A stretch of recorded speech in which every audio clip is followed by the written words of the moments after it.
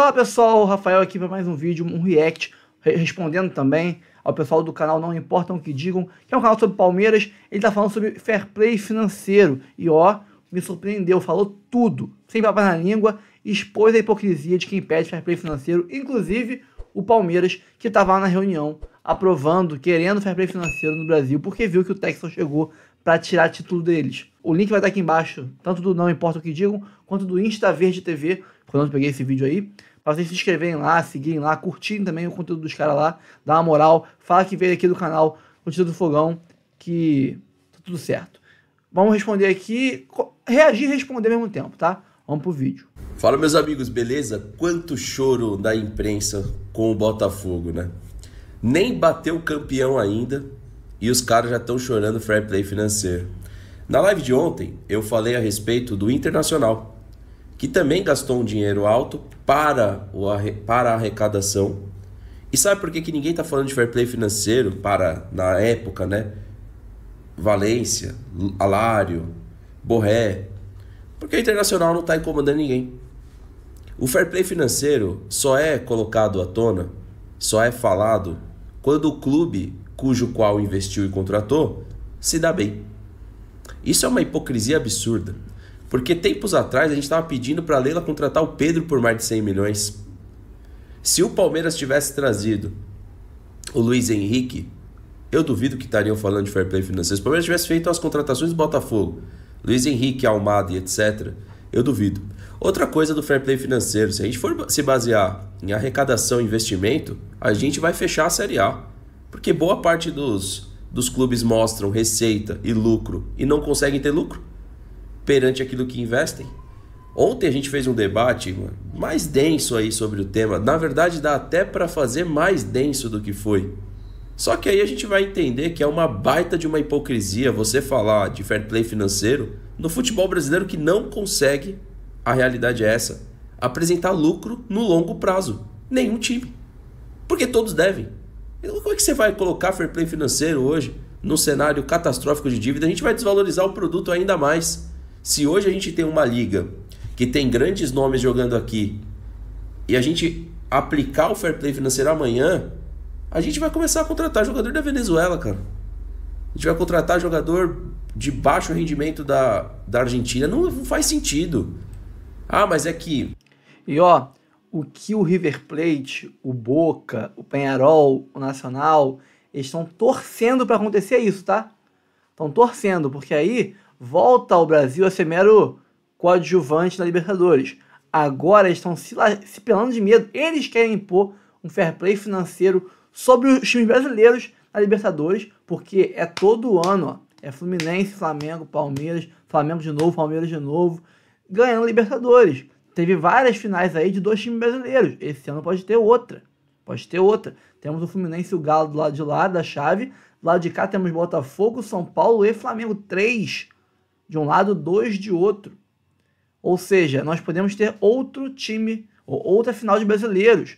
E dentro do Monumental de Nunes, estádio River Plate, na Argentina, vai ser uma afronta para os caras. Então, estão pedindo, estão implorando para isso, porque hoje o futebol brasileiro é tão forte, valorizado e incomparavelmente mais potente do que os outros da América do Sul, porque nós temos dinheiro para investir. Porque chegaram grandes investidores no Brasil. Grupo City, o Pedrinho BH, o John Textor, entre outros que ainda vão chegar, só que podem vir a não chegar mais se isso aqui for implementado. Fair play financeiro são os grandes clubes querendo impor uma elite fixa eternamente, sem nenhum outro time poder chegar perto deles com investimentos de fora aí para tentar equilibrar as coisas. É só a velha e boa elite querendo se proteger e se manter no trono. O Botafogo ele tem uma estratégia para burlar, é ok, mas é só o Botafogo.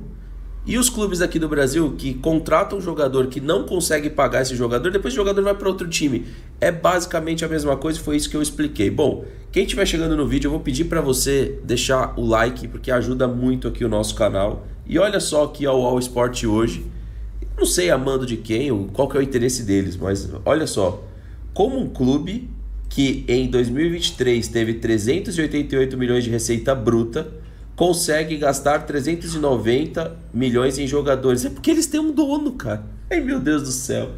É diferente, cara. Não é clube. Já começa daí. Não é clube. É uma SAF. É uma SAF. Não é um clube. Já começa daí.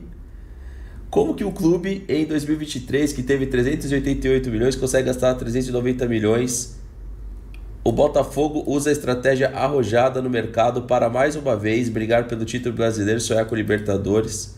O lateral direito Vitinho do Burley foi a aquisição mais recente com o, des o desembolso pelos direitos econômicos. A conta não fecha. Ó. A conta, num primeiro olhar, dificilmente fecha mas o clube aposta em uma linha de raciocínio baseada no fluxo de caixa e apoio dos clubes da família do John Textor. Luiz Henrique, 16 milhões de euros. É, é pouco, hein, velho? Pagou barato. Pagou barato.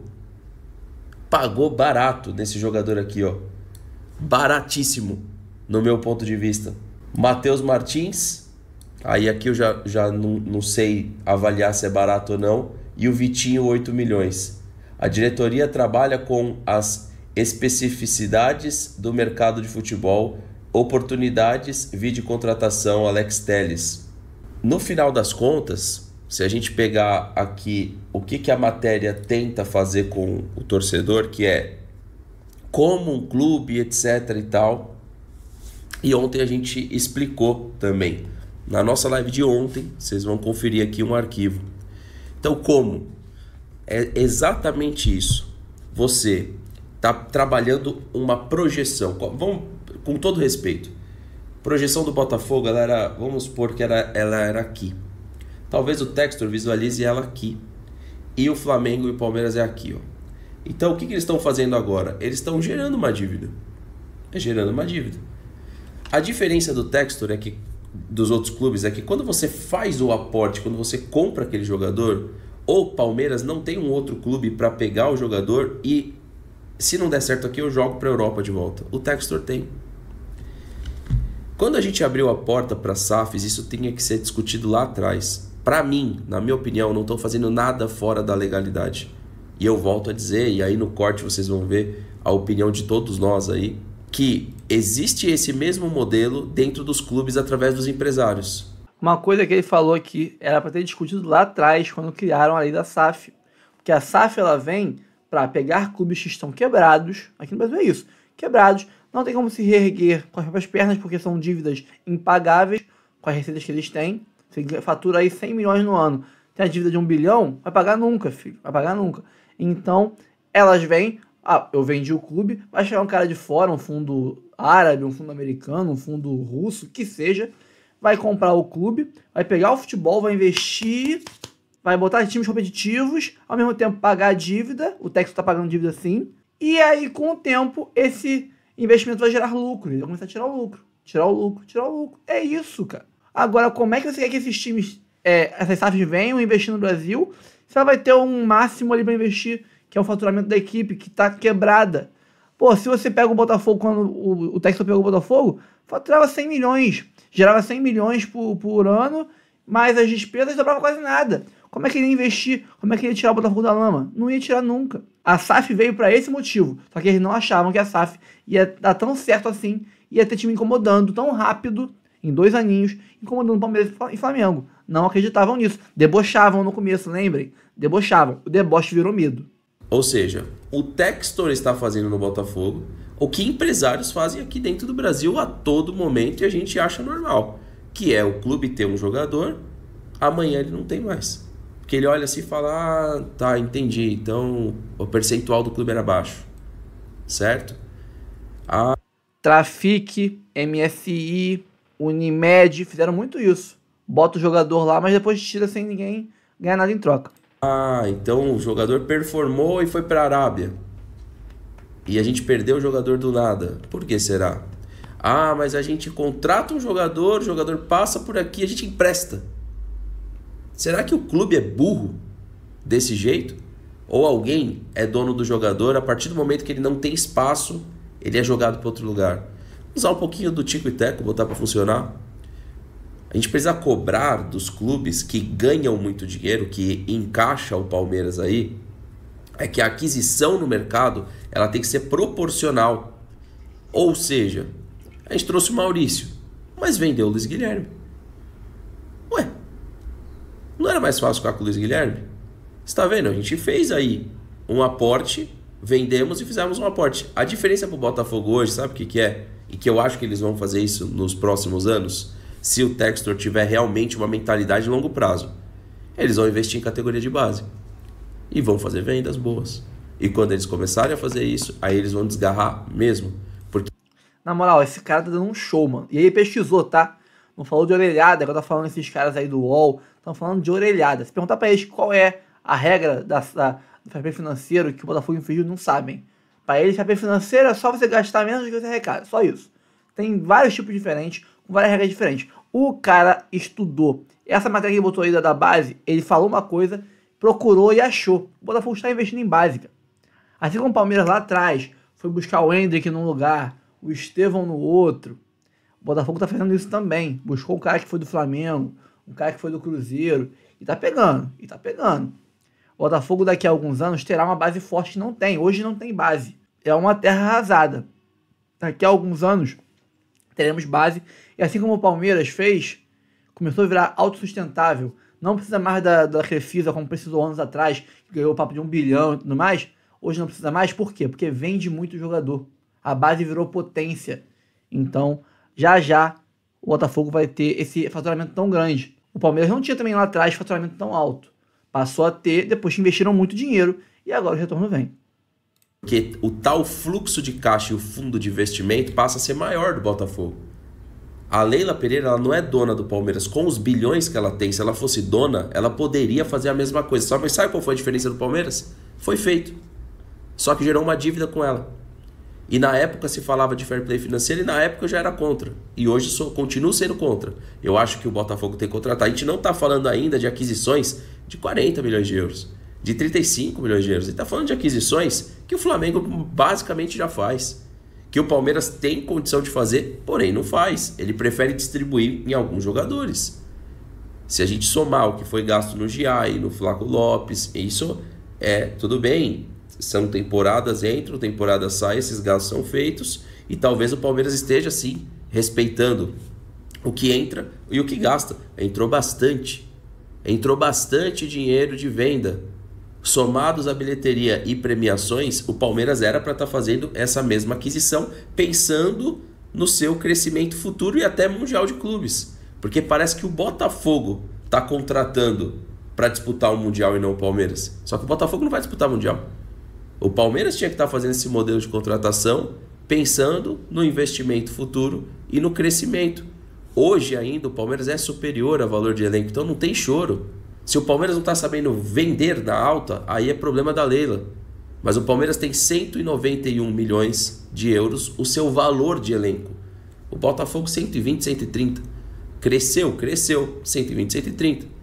Ou seja, na hora de falar assim, nós temos o plantel, nós valorizamos esses jogadores, nós temos o plantel mais valorizado do Brasil, venda. A proposta que chegou pelo Gustavo Gomes, ela era irrecusável, o Palmeiras recusou. A proposta que tinha chegado lá atrás pelo Rony era irrecusável, o Palmeiras recusou. Ah, não, nós não vendemos jogadores na alta, então não chora. Não chora quando os clubes contratarem jogadores que estão na alta. Porque você não vende na alta, vocês acham que o, o Botafogo não pode contratar um jogador com projeção de alta? É muita hipocrisia e muito choro, na minha opinião. Veja a opinião nossa no debate. Eu queria que vocês pudessem deixar um like aqui, compartilhar aqui a transmissão. E para finalizar esse Deixa trecho like aqui, porque talvez eu não tenha falado isso, se o Palmeiras estivesse fazendo isso, eu acredito que ninguém estava pedindo fair play financeiro do Palmeiras. Palmeirense, eu digo. Imprensa já pediu por menos. Imprensa pediu por menos. Certo? É a opinião que eu tenho. Queria saber a de vocês também. Se liga o que a gente falou aí na transmissão. Newcastle, mas bem emprestado, tá com o Elton que vai para o Southampton. Eu achei que seria uma boa para São Paulo buscar aí no mercado, mas enfim, ótima contratação do Botafogo, muito bom jogador. Oh, só antes, Josino, a gente tem algumas coisas aqui. É, peraí que uma pergunta fez até eu esquecer aqui o contexto. Sobre o tal fair play financeiro, eu tenho vergonha de quem comenta isso, velho entra dinheiro demais para os clubes brasileiros. Deixa o Botafogo contratar e cobre o teu clube que vende jogador por preço milionário e no mercado e parar de estocar jogador por 4, 5 temporadas. O Botafogo não está fazendo nada demais, na minha opinião. Não, mas peraí, Fernando, estão investindo mais do que eles gastam. Beleza. o Corinthians nunca fez isso. O Palmeiras nunca fez isso. O Palmeiras, para chegar em título, ele, é, primeiro ele gerou dívida. Não sei se, se a galera sabe. Mas em 2015, o Palmeiras, para fazer aquela quantidade de contratações, foi primeiro gerado dívida para depois performar. Mano, dá vergonha da galera chorando fair play financeiro por conta do Botafogo. Pelo menos a minha opinião. Contrate o Botafogo e mostre para o futebol brasileiro que eles podem pegar o dinheiro dos investidores, o dinheiro das vendas e pelo menos passar a contratar melhor. Eu jamais vou pedir fair play financeiro, a não ser que chegar num absurdo, assim, tipo, são cinco contratações de 35 milhões de euros, mais quatro de 25 milhões de euros. Alex Telles tem 6 milhões de euros no mercado, estava livre. Então, tipo, jornalista falando de fair play financeiro, quando o Flamengo contratava, não, aí é o malvadão, é o poderoso. E outro, o Flamengo continua contratando e contratando bem. Contratando caro, né? Quando eu falo bem, é, é investindo dinheiro. Então, José, não sei se você quiser emendar as duas coisas, mas eu não vou pedir fair play financeiro por conta. Eu não vou ficar chorando fair play financeiro por conta das contratações do Botafogo, pelo amor de Deus. Só que aí tem um detalhe. Quem voltou esse, esse tema à tona aí foi o, o Textor quando ele diz teto salarial do Bahia. E aí que voltou esse assunto. Ele quer teto Mas, salarial no ser sincero, brasileiro. O que, que eu acho dele sendo americano? Ele só tá jogando. Ele não tá Sim, tá muito preocupado. Eu, mas de verdade, volta porque ele causou isso. Ele só tá jogando. E na minha opinião, ele, ele só tá ele, ele, ele joga. É, é, é jogo. Ele não tá preocupado. Ó, oh, de verdade, ele não tá preocupado. Pelo contrário, posso falar o que ele tá fazendo com o Bahia? Ele tá provocando o Bahia de pôr dinheiro. Porque a, o, o, Bahia com o Jean Lucas, Everton Ribeiro. Nossa, para, é Rodrigues. Não, o, Bahia, o Bahia não tem time. O Bahia tá com um péssimo goleiro, uma zaga. Provocando pro Bahia botar dinheiro e a SAFs dominar o futebol brasileiro. É jogo, mano. Ele não tá preocupado. Pra mim, tá, TH? Ele não. Porra, esse moleque tá dando uma aula, pô. Esse moleque tá dando uma aula. Ele percebeu muito mais do que muita gente aqui do Rio que vê o Botafogo de perto. O que, que tá acontecendo, cara? Ele entendeu a cabeça do Textor. O Textor, ele, ele manipula o mercado, ele manipula as narrativas, lembre disso, narrativas. Ele entendeu, porque ele, te, ele deve ter visto muito o Textor em semanas de jogo decisivo contra o Palmeiras, viu aquela sacada, a cartada do, da, da Good Game, tudo mais. Ele manipula a narrativa, ele sabe criar um show, tá ligado? Esse cara entendeu a parada. Porra, esse moleque é muito foda.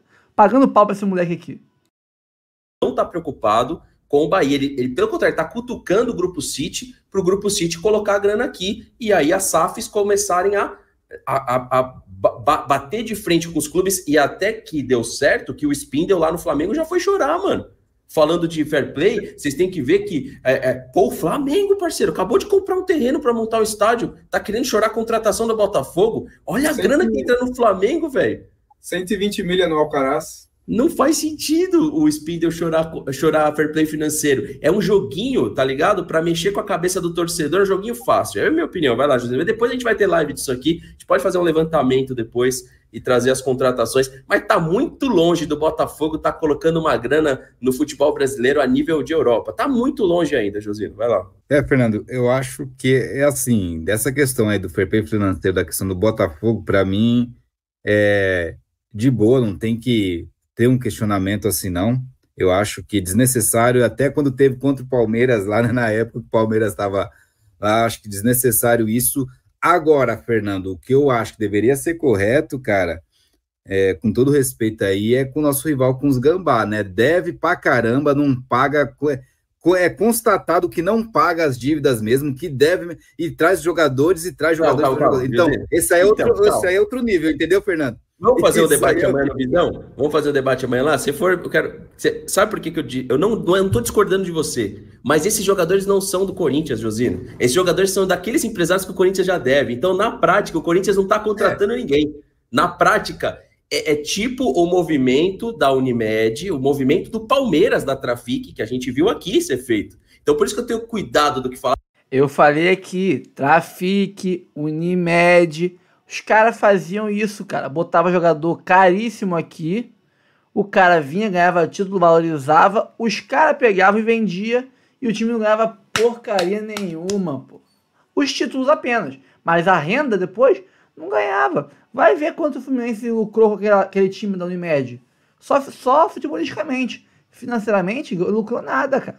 Ah, porque a gente já fez isso aí. Então os jogadores não são deles, cara. Os jogadores não são deles. E isso tem pouco jornalista com culhão aqui no Brasil para falar. O Corinthians não aportou Thales Magno. O Corinthians não aportou o jogador espanhol. Quem está trazendo esses jogadores é um grupo empresarial que está tomando conta desses jogadores. Se der merda, o Corinthians cair, eles vão pegar os jogadores e já fica a dica, vai no Rodrigo Garro. Se, se cair, já chega no, já liga para ele, já liga para ele. Faz faz atitude de clube grande, para não ficar chorando se o Botafogo levar. Se o... Perfeito. Já falei aqui, esse Garro é muita bola.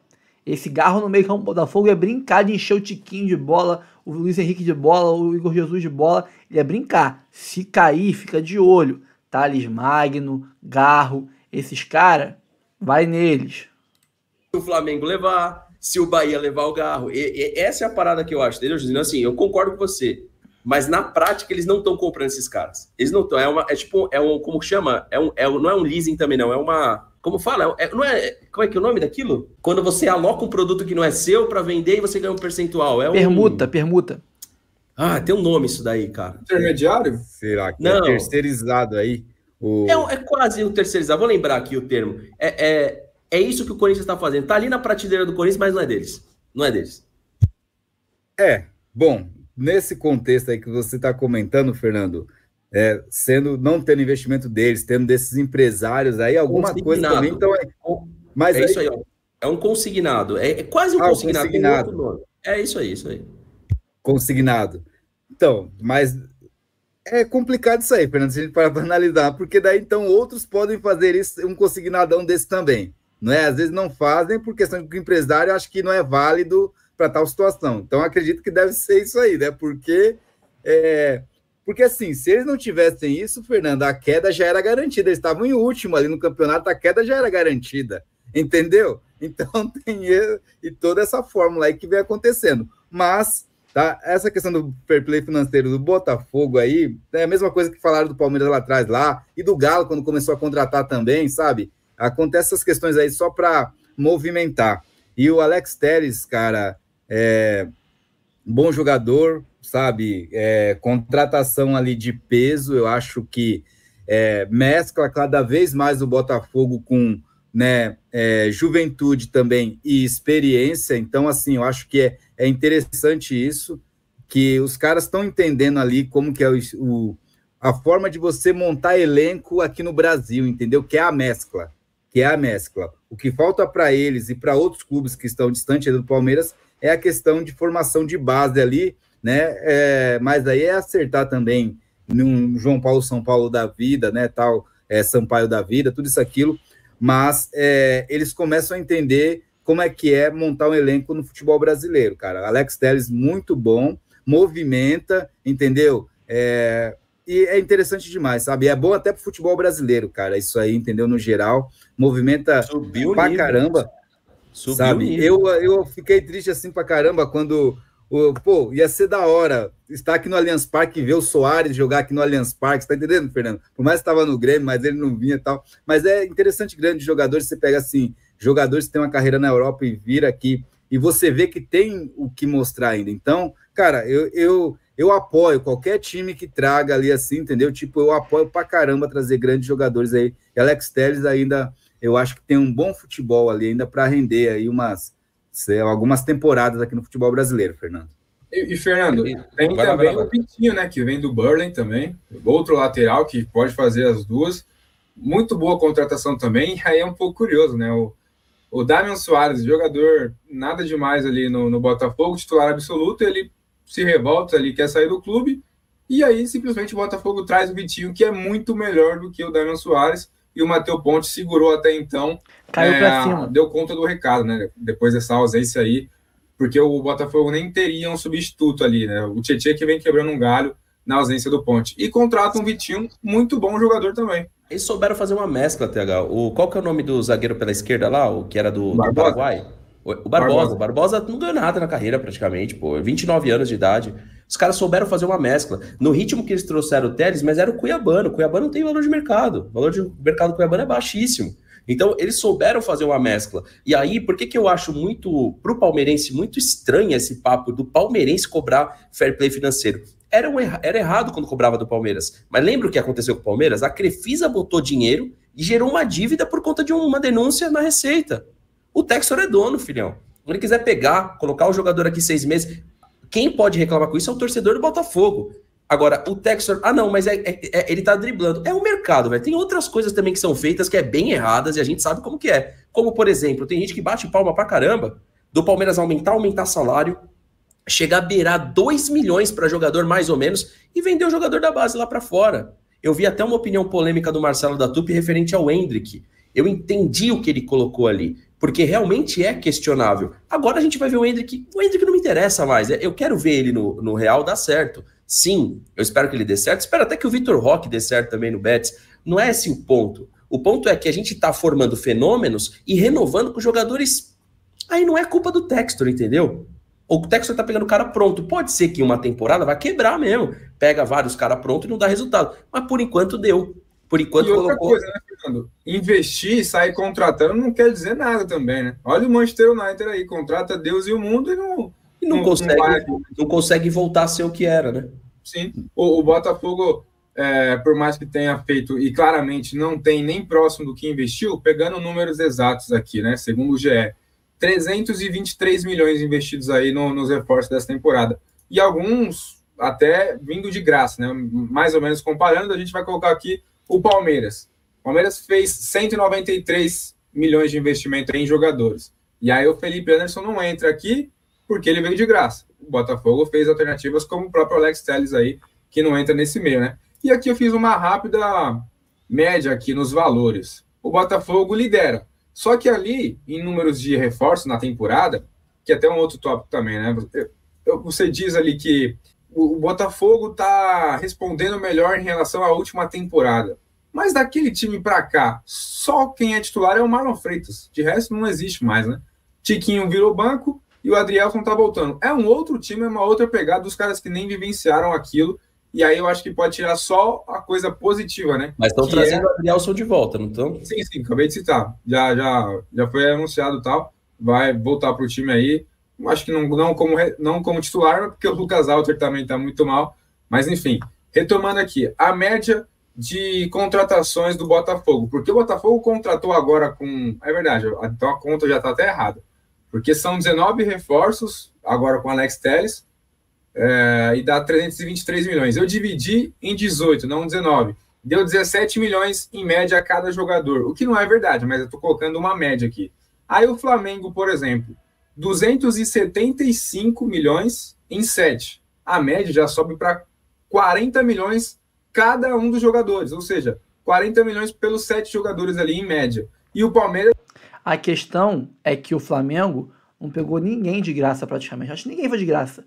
O Botafogo, desses que vieram esse ano, Barbosa veio de graça, o Igor Jesus de graça, Alan de graça, Alex Telles de graça, entre vários outros que vieram de graça, cara. O Jefinho emprestado de graça, Adrielson emprestado de graça, logicamente.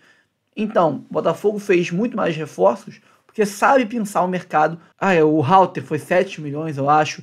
O Savarino foi 13 milhões. Jogadores o Gregory foi 9 milhões. Barato, cara. Barato. Flamengo não, é só 40, 50, 60. Aí chora que a gente gasta 100 milhões em alguém. Eles vêm logo atrás também. 24 milhões de média em oito jogadores. Né? Ao todo são 193 milhões. Então, o Botafogo praticamente contratou dois times com uma média inferior à do Flamengo, que investiu Sabe, 40 milhões em 7, por exemplo. E para complementar a sua análise, o Palmeiras hoje, 191 milhões de euros, o valor de elenco. O Botafogo hoje, 119 milhões de euros. Só para o pessoal entender. E outra coisa, sabe por que, que choram? Porque a gente sabe a realidade. O Maurício, por exemplo, foi uma grande contratação? Foi, mas estava ali no Inter. Ele foi caro, mas estava ali no Inter. O Giai foi uma grande contratação? Foi, em termos financeiros. Ainda não se mostrou em campo.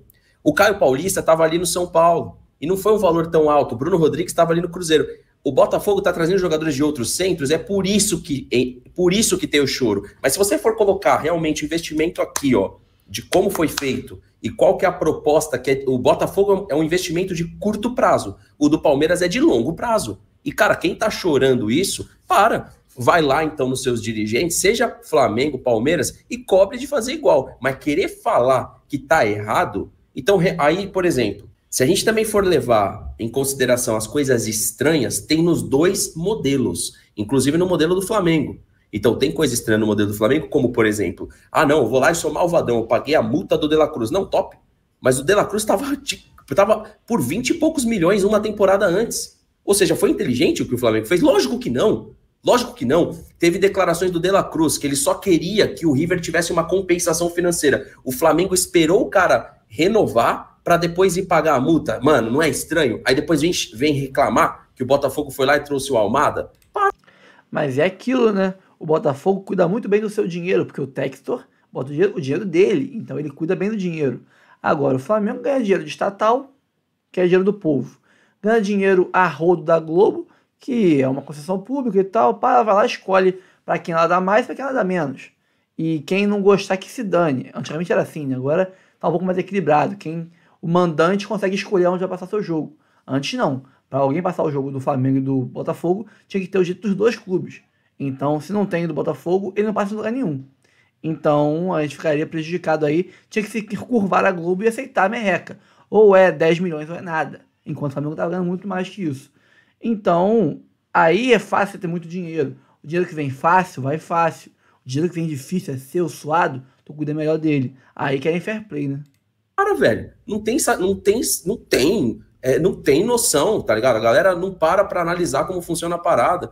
E, e, aí o que, que acontece? Acaba sendo influenciada por alguns jornalistas com baixíssimo interpretação de mercado de transferência. Baixíssimo. Os caras não entendem nada de precificação, absolutamente nada. Absolutamente nada. E aí começa a chorar uma situação que não deveria. O Flamengo pagou a multa do De La Cruz. E muito jornalista elogiou o poderio financeiro do Flamengo. Foi burro. Poderia ter trazido por menos numa temporada antes. Tanto que ele foi especulado no Palmeiras. E o Palmeiras falou o que na época? Não, não vamos trazer o De La Cruz, porque não enxergamos o De La Cruz como substituto do Scarpa. Enxergamos ele como um volante. Hoje ele joga no Flamengo realmente como meia de ligação barra meia. Ok, a, a interpretação do Palmeiras. Mas o Palmeiras não quis trazer e ele já estava para sair. A mesma coisa se emprega ao Bustos, que era o lateral aí do Inter. Vamos imaginar, o Bustos queria sair do Independiente há muito tempo. Aí trouxe o Inter. Se era o Botafogo, se é o Botafogo trazendo o Bustos agora, vai render chororô. Vai render chororô. Mas como foi o Inter? O Inter trouxe antes Bustos, trouxe Borré, já tinha trazido Enervalência e o Alário. Aí ninguém falou nada. Por quê? Porque o Inter não deu certo. Se o Inter dá certo, iam falar a mesma merda. Ah, mas o Inter gerou uma dívida aqui em cima e tá gastando mais do que arrecadou.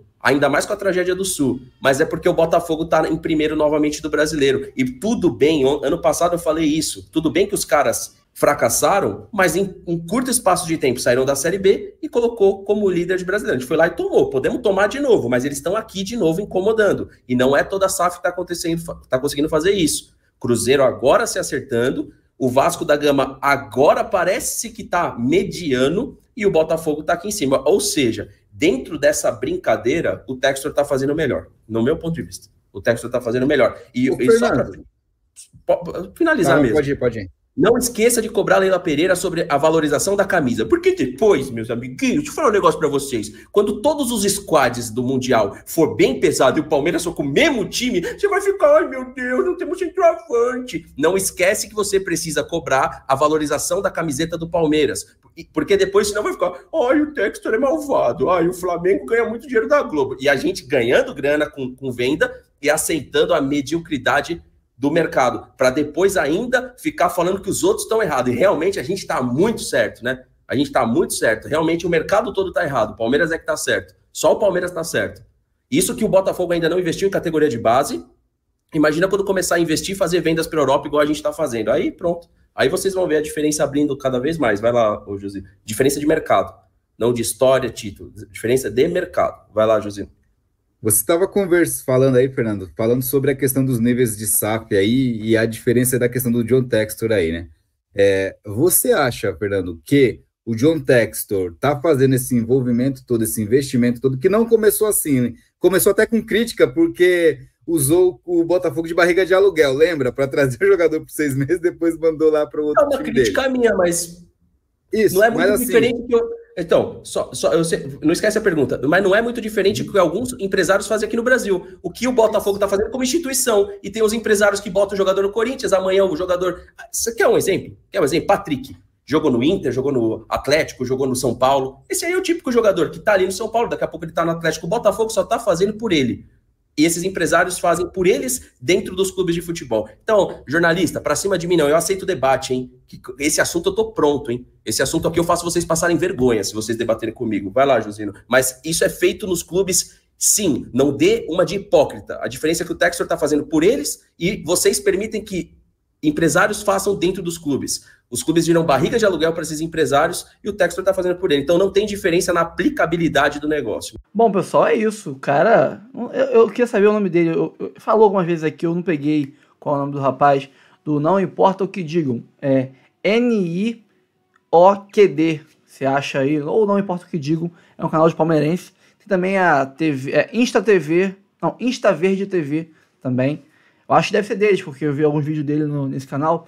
Então é isso, pessoal. O rapaziada aí do Palmeiras, pelo visto, entendeu a cabeça do Textor muito melhor do que esses cartolas aqui do Brasil, que estão levando um baile do americano, levando um drible em cima de drible, e o Textor tá, ó, fazendo o jogo, ó, tocando a bola, limpando geral, chegando na cara do gol, fazendo gol. Foi o que ele falou, o choro tá grande e a gente nem ganhou o título ainda. Nem ganhamos o título ainda. Imagina a choradeira que vai ser a hora que o Botafogo brocar aí uma Libertadores ou brocar aí uma, um Campeonato Brasileiro, como vai chorar essa mídia brasileira, como vão chorar os clubes associativos que não querem largar a boquinha, perder a boquinha para as SAFs. Textor quer que o máximo de clubes possível no Brasil vire SAF, porque é assim que ele vai conseguir fazer finalmente a liga. Porque com mais times saindo da mão de flamenguistas, palmeirenses, corintianos, vascaínos, etc., aquela falsa paixãozinha que tem muito mais é, de oportunismo, muito mais de, de, tirar vantagem do clube do que paixão, e seguido de incompetência, que jogam os clubes na lama, quanto mais SAFs forem criadas no Brasil, teremos aí um, um sueco que nem é flamenguista, ou um árabe que nem é corintiano, um americano que nem é gerindo com cabeça de gestão, de dinheiro, de empresário, de longo prazo aqueles clubes. E é aí que a liga vai ser feita. É aí que a gente vai vender pacote de televisão lá para fora por uma, uma coisa colossal o valor. É aí que o, Campeonato Brasileiro vai ter estrutura foda, arbitragem profissional, que não vai ser a CBF que vai colocar, vai ser a liga que vai colocar. É aí que o patamar vai subir absurdamente do, do futebol brasileiro. E o Botafogo, como, estando parte desse futebol, estando incluído nisso, vai ganhar muito também. E por ser a primeira SAF, correu na frente de geral. E outra, vou falar aqui com vocês pessoal que pede fair play financeiro, os otáriozinhos aí, ó, Fluminense, né? Os times menores que estão participando aí dessa parada, Fortaleza e tal, vai na onda do Flamengo só. Os times pequenos do Rio de Janeiro foram na onda do Flamengo aí, para reformar, meio que mudar o sistema de transmissão, o pacote tal, da, do Cariocão, tá ferrado, ficaram sem dinheiro nenhum. O Flamengo só pensa neles, só pensa neles vai na onda do Flamengo, vai, vai sendo parceiro do Flamengo, passando onde você vai dar. Vai se ferrar e vão ganhar mais dinheiro. O Flamengo depois fechou o pacote maior do que tinha antes de transmissão. E os times do Rio ficaram, ó, na merda, sem dinheiro. Carioca dá nem premiação hoje dá, hoje em dia, o Carioca. Então é isso. Vai na onda do Flamengo só e outra. Voltando aos times pequenos aí. Por que não? Mas de menor investimento do Brasil aí que estão aí na onda do Flamengo. Vai chegar uma hora que vocês vão querer ser SAF, porque vão estar assim de dívida. E vendo o Botafogo, vendo o Bahia, vendo o Cruzeiro ganhando muitos títulos com alto investimento, vão querer virar SAF também. Só que aí, com o fair play financeiro, já era. O bonde passou, a novinha observou e tchau. Já vai ter sido passado a época de investir pesado, porque agora com o fair play financeiro, um, um Fluminense que vai ter um faturamento de 300 milhões, mas não vai poder investir muito mais que isso. E aí o Botafogo, o Bahia, o Cruzeiro já montaram baita estruturas, baitas elenco, base de elenco, com época que não tinha fair financeiro ainda, e aí você, Fortaleza, Vasco com uma nova SAF, Fluminense quando virar SAF, etc., Santos quando virar SAF, vão querer investir também, e aí esquece, não pode mais. Fatura quanto? 200 milhões? Então é no máximo 200 milhões. E aí, ó, para vocês, tá? Esse fair play prejudica muito mais vocês e o Corinthians tá dando golpe em geral aí, pagando ninguém, do que o Botafogo. O Botafogo já, já conseguiu a sua base absurda. Como ele falou aí, o Botafogo hoje tem um valor de mercado um pouquinho abaixo de Flamengo e, e, e Palmeiras. o elenco inteiro. Então a base multimilionária foi montada já. Estamos ali brigando igual, igual, igual, igual com eles. Ainda estamos abaixo no valor de mercado do elenco, mas estamos de igual para igual agora. Vocês, Fluminense, Fortaleza, Santo, etc., que não são SAF ainda, ou querem ser SAFs, ou são SAF e não foram vendidos ainda, na hora que chegar o fair play, vocês estão ferrados. O Texas vai arrumar uma forma de burlar aí, vai meter Eagle Hold na camisa aqui, patrocinando o Botafogo, por quatro vezes o que vale o patrocínio do Botafogo. Vai meter o name right do Engenhão, a Arena Eagle, e vai meter sete vezes mais de valor do que vale o valor de mercado do name right do Engenhão. Vai arrumar um jeito. Vocês, ó, vão ficar lascados. Mas, ó, link tá aqui embaixo do canal, não importa o que digam, canal Insta Verde TV. Sigam, não precisa seguir, né? Mas vão lá, dá um like no vídeo dos caras. Fala assim, pô, vi seu vídeo maneiríssimo, parabéns pela opinião. Vim do Notícia do Fogão lá que reagiu a vocês. Um abraço, tamo junto. Então, dá uma moral pros caras, os caras merecem. Foram imparciais, foram corretos, foram, ó, sensatos na opinião. E é isso, pessoal. Reagir mais um vídeo aqui. Mais um palmeirense, né? Já tinha reagido a, a acho é Patrícia Auriti ou alguma coisa do tipo. Agora reagir ao pessoal do Não Importa o que Digam. Muito bom, bom vídeo, muito bom canal. Quem gosta de assistir conteúdo de outros clubes, para se manter bem informado, vale, vale a pena acompanhar. E é isso, pessoal. Fico por aqui. Eu sou o Rafael. É, curta o vídeo, comente, compartilhe, se inscreva no canal ative o sininho para receber avisos sempre que tiver conteúdo novo de reacts aqui, notícias sobre o fogão ou sobre algo que rodeia o fogão, como é o assunto fair play financeiro. Fico por aqui, um abraço e até o próximo vídeo. Valeu!